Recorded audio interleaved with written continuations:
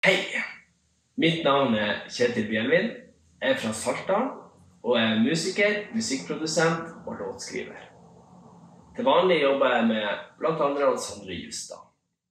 Jeg vil si at det er ganske tilfeldig at jeg begynte med musikk.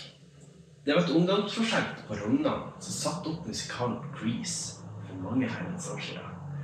Jeg var ikke med sjøl, men jeg fikk se forestillinga på VHS hos naboen. Fra den fikk jeg en låt på hjernen. Den gikk sånn C, C, C, C, A, A, A, A-mål, F, F, F, F, F, F, G, G, G, G, G, 7.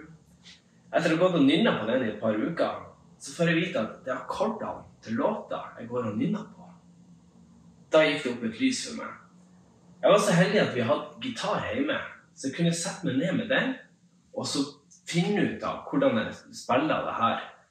Og da var musikkinteressen tent.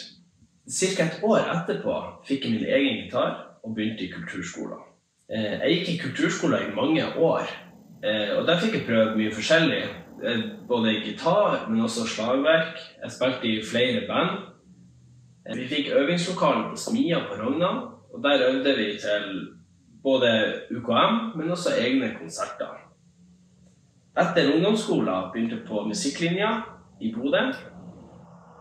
Fra da gikk det egentlig ganske slag i slag, og jobba med musikk sida. Hadde ikke vært for det miljøet og de mulighetene som kulturskolen i Saltdal skapte, så hadde jeg aldri holdt på med musikk i dag.